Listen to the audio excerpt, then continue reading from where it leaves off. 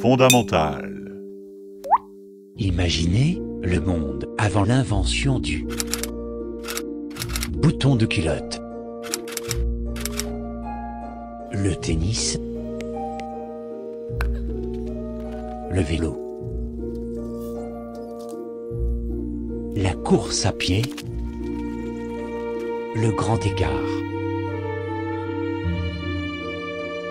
Non vraiment, nous n'en serions pas là, sans cette invention capitale. Merci, Jean-Félix Batteros, pour cette fabuleuse invention. Vous aussi, devenez fibulanomiste.